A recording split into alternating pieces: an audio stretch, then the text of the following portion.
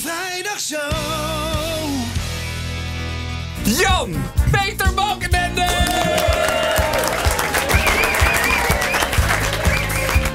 Daar bent u dan. Het is weer goed bij jullie te zijn. Het is ontzettend fijn om er weer te zien en, u weer te horen ook. Hoe, hoe is het ermee? Het is heel goed. Uh, ik heb enorm naar mijn zin wat ik nu doe. Ik reis veel, ik heb boeiend werk bij EY, bij Ernst Young. Ik ben hoogleraar in uh, Rotterdam. Uh, leuk om met studenten om te gaan. Ik geniet van de dingen die ik nu doe. Wat was Jan-Peter verleerd na acht jaar premierschap? Wat grappig was, toen ik premier af was, ik was een keer een, hadden een etentje. En toen was de vraag van, kun je eens iets zeggen over het verschil tussen het zijn van premier en het zijn van partner bij EY, bij Ernst Young? Nou, dan kun je zeggen, ik zat toen in een klein torentje. Ik zit nu in een grote toren. Toen was het publiek en nu privaat een beetje saai. Mm -hmm. Dus heb ik gezegd, nou, het verschil is P3. Weet je wat het is? Schiphol. Ja, precies. Nou, dus ik zei bij de, de mensen, ik, ik, zeg P3. Nou, niemand is dat P3. Want ik zeg, dat is de parkeerplaats voor lang parkeren. Dus, want dan moet je van tevoren een parkeerplek regelen. Dan moet je creditcard door die gleuf. Dan moet je met de bus naar de vertrekhal. Bij in de vertrekhal krijg je natuurlijk de controles. Maar die balken en de urine moet ook nog uit. Maar dat is wel het verschil. De rode telefoon, bestaat dat? Is dat er? In het, in het torentje? Nee, er is geen rode telefoon. Heeft hij een andere kleur? Nee. nee.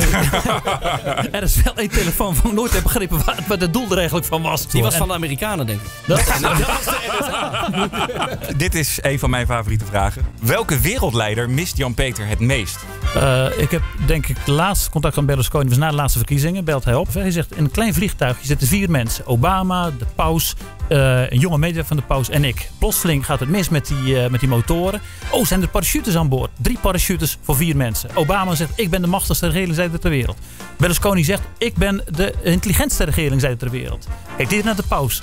De paus zegt, nee, die jonge medewerker moet dan springen als het uh, fout gaat met het toestel. En ik zal hier blijven. Nou, laten we hopen en bidden dat het goed gaat. En Obama, het gaat niet goed. Motoren vallen uit. Obama springt naar buiten. Berlusconi springt naar buiten. En dan zegt de jonge medewerker tegen de paus, heiligheid.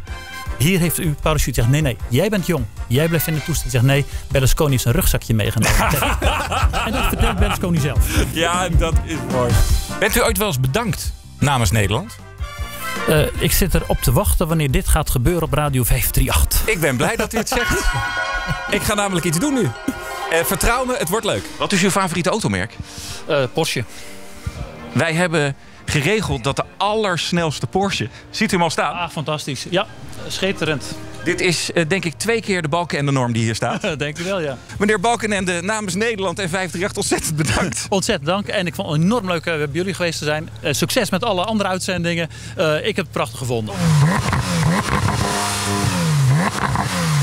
En applaus in de studio voor Balkenende.